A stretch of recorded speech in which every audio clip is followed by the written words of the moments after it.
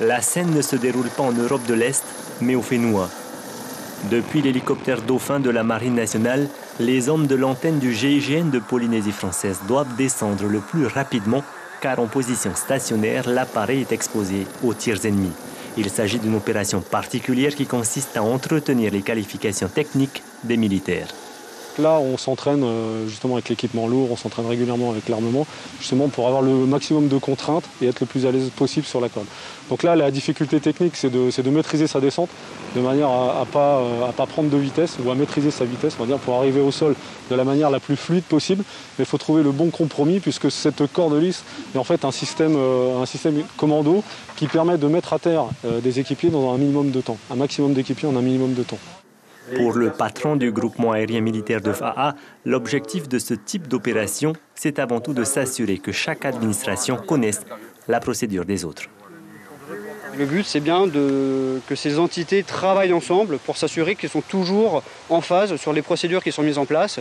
Euh, c'est euh, caler euh, des éléments de, positionnement, de gestuelle, de, fréquence, de, voilà, de méthode de travail euh, voilà, de manière à ce que là aussi, le jour où l'opération arrive, toutes ces questions-là ne se, posent pas. C'est-à-dire que les gens ont déjà l'habitude de travailler ensemble, ils savent euh, ce qu'ils ont à faire, et ça permet de se, de se concentrer vraiment sur l'objectif de la mission.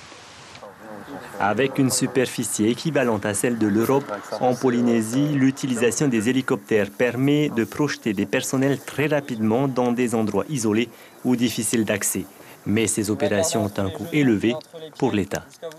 La convention de financement qui permet aux différents ministères intéressés euh, de participer euh, au financement euh, de cet hélicoptère, c'est coûteux un hélicoptère, hein, a été signée, reconduite en décembre 2021, il y a quelques mois seulement, à la demande du chef de l'État qui avait garanti que le dispositif serait préservé en Polynésie française dans la durée. C'est chose faite, l'engagement est tenu.